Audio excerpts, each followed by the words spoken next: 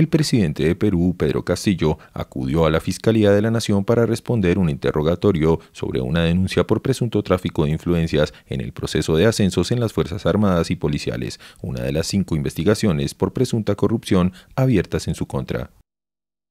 Castillo aceptó ir a la oficina de la fiscal de la Nación, Patricia Benavides, después de que ésta rechazó el pedido de sus abogados de acudir a Palacio de Gobierno a tomar sus declaraciones. Benavides explicó que el mandatario es investigado en este caso y no testigo, razón por la cual no procede que ella acuda al despacho presidencial.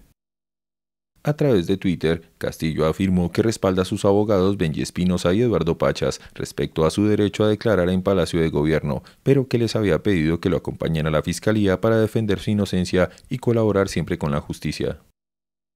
El mandatario se dirigió a pie, acompañado por sus abogados, rodeado de un nutrido resguardo policial, hasta las oficinas de la Fiscalía cercana al Palacio de Gobierno.